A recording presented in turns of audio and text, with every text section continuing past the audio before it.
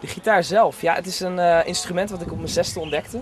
Ehm, eh, ik, eh, ja, ik hoorde een, een cassettebandje en ik dacht, dit, dit is zo'n mooi jankend geluid. Dus toen ben ik op mijn zevende Dus je begonnen. vooral iets met dramatiek Ja. of zo. Ik, ik hou van heel erg van dramatiek.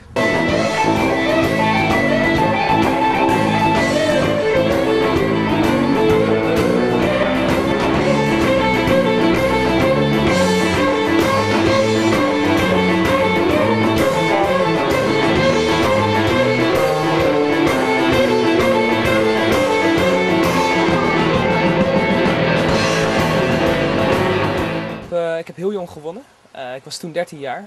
Eh, dat was toen nog, ja, allemaal, het heette Nederlands gitaarkampioenschappen. Dus je had echt de titel Nederlands gitaarkampioen van 1997. Dat is alweer een tijd geleden. En het was echt, er kwamen allemaal tv-programma's naar me toe. Kopspijkers, Cool TV en wat kranten. Dus ik stond echt ineens in het midden van de aandacht. En het was wel echt heel, bijzonder wat er dan allemaal op je afkomt.